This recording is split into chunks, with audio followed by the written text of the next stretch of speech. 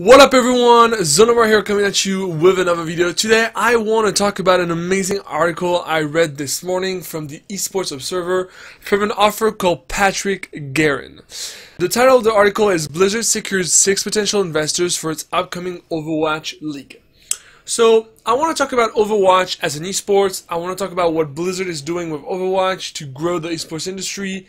And I want to talk about the deals they're trying to make with investors of um, traditional sports, which I think is fascinating, but something that is really open to a conversation. I feel like they're doing a lot of mistakes, and I want to point them out. First of all, what Overwatch is trying to do is literally what Riot Games is trying to do with um, League of Legends and LCS. They're trying to franchise. They're trying to get investors to buy slots for like up to twenty million dollars, where Riot is asking for like one to two million dollars, or like I don't know, like there's insane numbers like that that are like super expensive.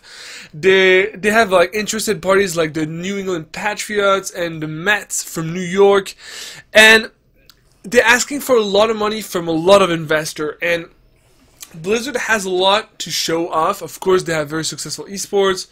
Uh, well, actually, they only have Hearthstone. And when you think about it, like Hearthstone is a video game that has a massive success in esport, but when you think about what Blizzard is doing within the entire industry, they had SC2, which is a game that was successful like early on, and it was like the very first step to esports, what it is today. Um, Heroes of the Storm was not a success, obviously and all the game like World of Warcraft. I mean, there's some there's some competition there, but right now Blizzard is focusing on Hearthstone and Overwatch. And what the company is trying to do is that, well, while franchising has its good and bad, as I talked to you on another video, I feel like Blizzard is asking for a lot, a lot of money. And I don't think they understand that right now, Overwatch has absolutely no hype around any players, around any teams, around anything at all. And I feel like I don't know what Blizzard is actually selling to those investors.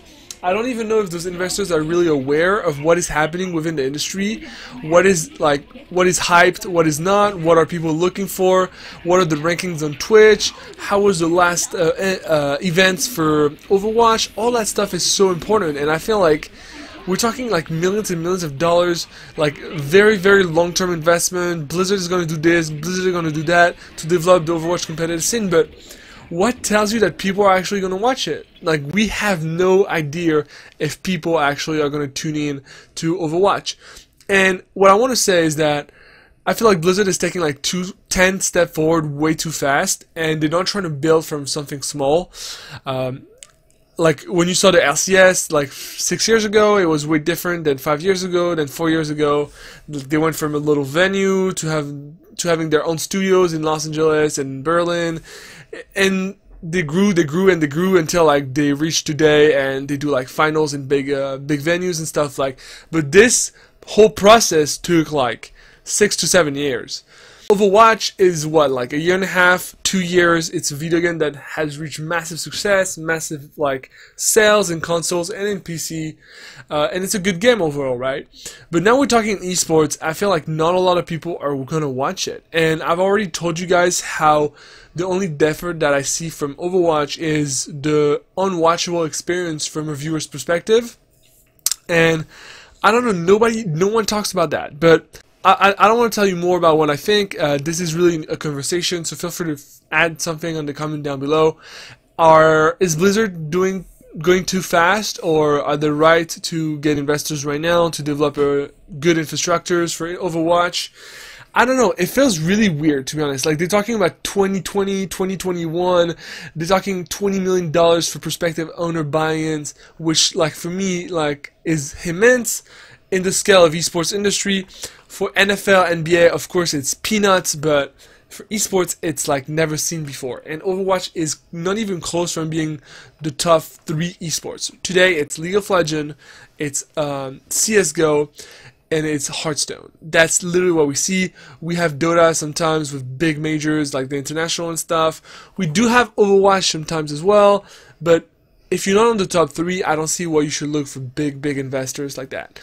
Plus, Blizzard has a past of not being so well and not performing really well in esport like um, uh, StarCraft 2 was very badly managed by Blizzard. World of Warcraft PvP stuff was very poorly managed by Blizzard. Hearthstone is okay managed by Blizzard. I, I guess it works because of the community and all the streamers around it and stuff. Like, there's no thing that would tell me that this will work. Right now, I don't see anyone in my entourage that is hyped by Overwatch League Championship. Like they don't have attached to a branding from like a team or from a player or anything.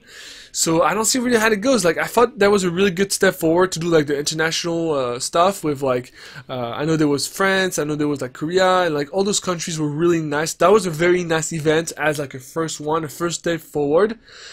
But now after this, they're trying to do like this whole league thing with like buy-ins from NFL teams and stuff. I don't know. It just feels weird to me. So I want to hear what you guys think in the comment down below. Please let me know. Uh, I think Blizzard is really doing a mistake, and I feel like investors as well are just putting money into it without even thinking. And for me, that's really, really scary. So yeah, thank you so much for watching this video, guys. I'll see you for the next one. Cheers.